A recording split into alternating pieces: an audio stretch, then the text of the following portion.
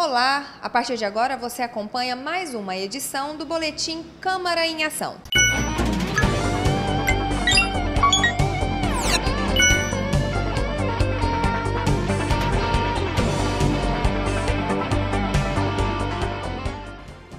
Na sessão ordinária desta terça-feira, dia 6 de abril, o assunto destaque entre os vereadores foi a aprovação, em primeira votação, do projeto da vereadora Cleide Hilário do Republicanos, que torna as atividades religiosas como serviço essencial em Anápolis. Quero aqui agradecer a todos os colegas pelo apoio mediante ao nosso projeto que hoje está em votação, em primeira votação nessa Casa de Leis é, o projeto que se torna todas as instituições religiosas como essencial.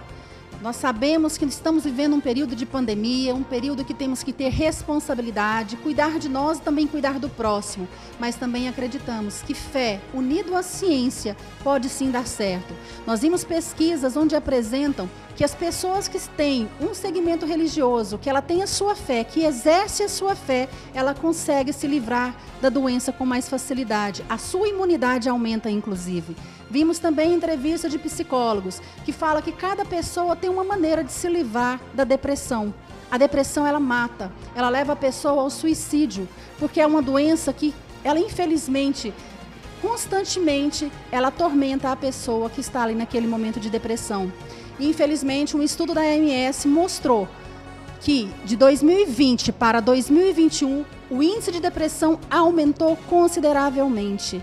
Nós vimos aí pessoas que perderam seus empregos, pessoas que perderam seu sustento, seu comércio e que com isso é passou a ter a depressão. É muito triste ver um pai de família chegar na sua casa e não ter o alimento para dar para o seu filho. Então, por isso, eu quero agradecer aqui o apoio de todos os colegas que têm nos apoiado nesse projeto. Muito obrigada.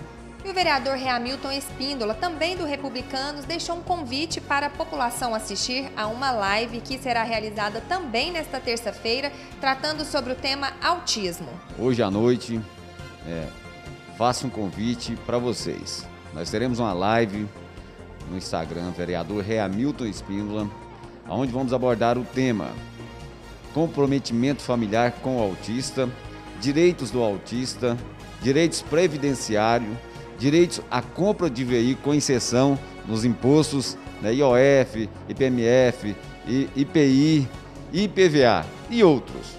Né? E também teremos um bate-papo com o vereador Leandro Ribeiro, sobre os projetos do vereador Reamilton Espíndola, que está tramitando na casa. São três projetos de leis voltados especificamente para o autista.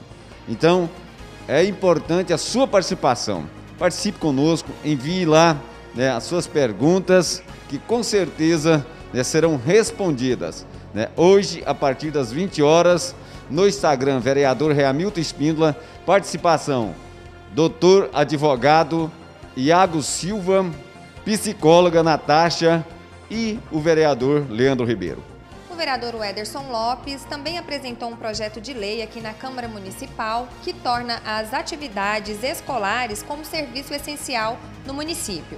Já a vereadora Trícia Barreto falou sobre o problema que as crianças e adolescentes em tratamento de câncer aqui em Anápolis estão enfrentando para serem atendidos no Hospital Araújo Jorge, em Goiânia.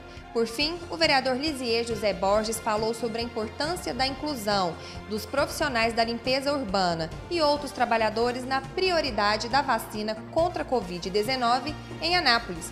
E esta foi mais uma edição do Boletim Câmara em Ação. Você pode acompanhar as atividades do Legislativo Anapolino pelo canal do YouTube da TV Câmara e também pelas redes sociais.